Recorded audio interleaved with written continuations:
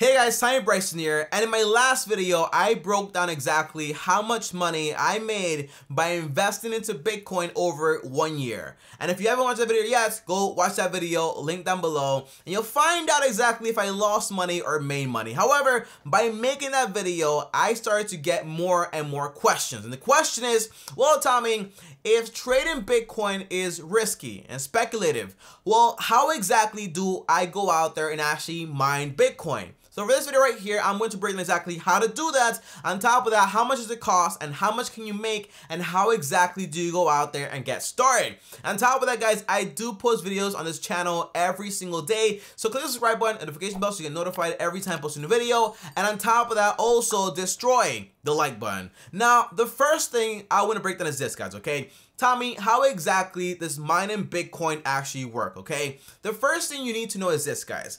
Bitcoin is finite, meaning there is a certain amount of Bitcoin that once it's found, there is no more Bitcoin, okay? It's not like the federal government when they can just go and print more money. No, Bitcoin is capped at 21 million. So once there are 21 million Bitcoins out there in the market, basically there will be no more Bitcoin. So once that's actually minded, it's over basically, okay? However, right now we are at 18.5 million Bitcoin and it's going to take until the year 2140 to actually mine the very last Bitcoin. You might ask me, Tommy, why is it going to take so long? The answer is because every single four years, the amount of money miners can actually make is cut in half. And this way, the amount of Bitcoins in the market is limited every single four years or so. And that's in a way how it's actually regulated, okay? So now, now that you understand exactly the little history about Bitcoin, I want to break down exactly, well, Tommy, how exactly does mining work, okay? Basically, as you guys know, Bitcoin is not regulated. And the way that Bitcoin works and operates is by people actually using the computer systems or for example, having a whole farm of like software and hardware to just run over and over again and process all the transactions that actually go into place. By the way, I know Bitcoin is not the only cryptocurrency out there. There's over like a thousand of them, but I'm using Bitcoin as an example because it's one of the most popular ones out there and the one that most of us know, okay? Let's be honest. So the idea is by you using your computer hardware to just run some software to actually solve like, for example, Bitcoin problem transactions, by doing that, you can actually make money every single day by just having your computer run on a daily basis. Now, for some examples here, okay guys, by the way, remember we are in 2020 and some of these examples were like five years ago and some of them are even almost 10 years old, okay? Now,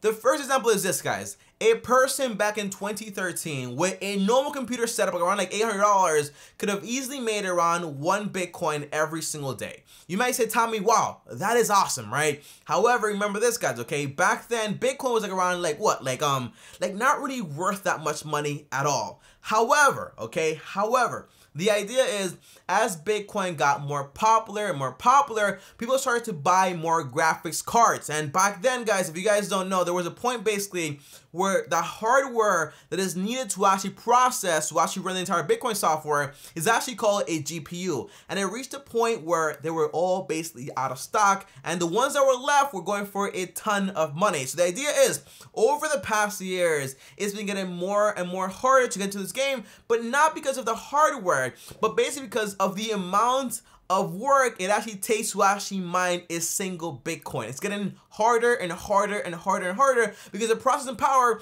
is getting more and more demanding every single year. So the idea is even though in 2013 you could make like one Bitcoin per day, or for example, an entire farm made around 100 Bitcoins per day also, well, guess what? The electricity bill for that farm, right, was around 80 thousand dollars per month. So basically, if you want to have like an entire like, oh my gosh, like, I want to have servers like all around my house, just like processing back and forth. You can't forget about the cost of electricity, the cost of software, and that's why right now I want to break down exactly. Tell me, although I understand how mining Bitcoin works and it's finite, it will run out eventually. I want to talk about also how much is it going to cost me to actually get started. Well, the first thing is this, guys. Okay, all you need to get started is software. And if you want the easiest way to actually just go out there with one click, you can download a software called NiceHash, okay? Link down below. When you download it, it'll tell you exactly how much Bitcoin you can expect to mine every single day by your entire like software that you actually have right now. So link down below if you want to download it. But the answer is, guys, I'll be honest here, okay? If you want to mine is substantial amount of Bitcoin every single day, it is going to take a ton of hardware. And as you guys know, hardware also equals a ton of money. For example, this headphone right here costs around $250, okay? So imagine how much some proper software to actually be able to mine one Bitcoin per day is actually going to cost you because right now, one Bitcoin is worth around $8,000. So if anyone could just go out there and mine one Bitcoin with some basic computer, well, everybody would be doing it. But in reality, it's not going to be that simple. So once you have that software, nicehash.com, link down below. Once you have that software, you're going to need a proper GPU. Now, GPU is code for the graphics card of a computer, and the more powerful it actually is, the more Bitcoin you can basically mine because it can process much more transactions and stuff like that, right? So once you have that figured out, guys, okay,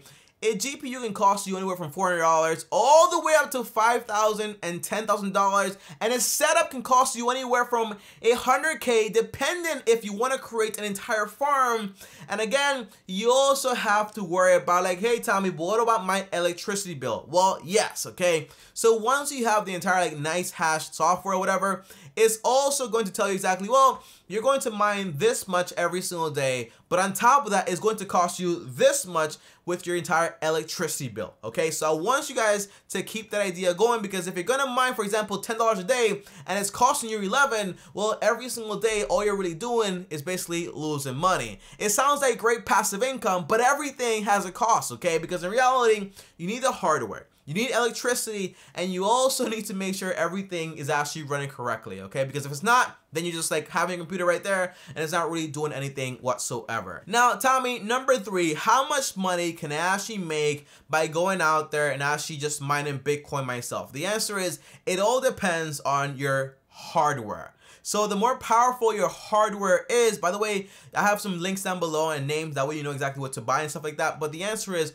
the more powerful your hardware is, the more transactions and processes you can actually process, and this way you can make more money, okay? So if you have a lot of powerful software, you actually have more attempts to actually make a lot more money. That's how it basically works. But if you have, for example, a computer like mine, guys, okay? And by the way, my computer is not really like that cheap. It's pretty good and stuff like that. I have a RTX 2080 Ti and I have two of those. If you know anything about graphic cards, those things cost a ton of money. And I did some calculations and basically every single day I'm going to make between $2 just by going out there and mining some Bitcoin. But I also have, for example, electricity that's also going to cost me an additional like a dollar fifty. So in reality, if I'm making an average of two dollars and fifty cents, I'm really only gonna keep around a dollar. So again, by this point, you're probably saying, Tommy, but this kind of sucks. I don't want to make a dollar a day. The answer is, what I recommend you do, guys, is just like download the software and find out for yourself exactly how much you can actually make. If it's not worth your time, then just uninstall it and don't deal with it. Because at the end of the day, guys, okay, I'm making this video just for educational purposes. So you guys know exactly what it takes to actually get into this. Because remember guys, okay, the more powerful your setup is, the more electricity is going to consume. And again, one last thing I did not mention is this, guys, okay? Although every single day you can mine, for example, some Bitcoin, also, remember that Bitcoin also fluctuates a ton every single day. So in reality, at some point you can have a certain amount of money, but when it's time for you to actually transfer into the USD dollar, it can actually be worth a lot less, okay? So you also have to keep track of the fluctuation. And the last thing I also want to talk about, guys, basically, well, Tommy, what is going to happen when all the Bitcoin has actually been mined in the year 2140. Well, good news, okay? You don't have to worry about it because you won't be here, okay? Neither will I. But the entire idea is this, guys, okay? What people are saying, for example, Investopedia.com, a very um, reliable source, what they're saying is basically, well, Tommy, we believe that once this happens, basically miners will basically not be motivated enough to actually go out there and keep mining, which basically means that the entire Bitcoin co- like operation will basically fall apart. However, they're also saying, well, that could happen, or what could also happen is since those people actually do make money by having like a small transaction fee for every transaction, in reality, they could still be motivated to keep running everything because they'll make a small fraction of a fee. So that's the entire idea. But at the end of the day, guys, okay, when it comes to cryptocurrency or for example, Bitcoin, whatever you want to call it, at the end of the day, all you're really seeing is a lot of speculation. A lot of people trying to get into it.